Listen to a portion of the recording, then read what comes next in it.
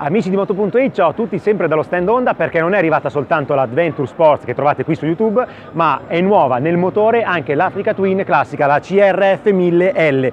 Cosa cambia? Cambia in modo molto importante il motore perché riceve il ride by wire che sarebbe il controllo elettronico dell'acceleratore e questo porta con sé le mappe. Abbiamo diverse mappe e il controllo di trazione settabile su sette livelli. Adesso Luca è già andato da solo sulla strumentazione perché è tutta nuova. Vedete che è sempre digitale ma è meglio leggibile rispetto al passato, mentre sono confermati i blocchetti elettrici dell'Africa Twin.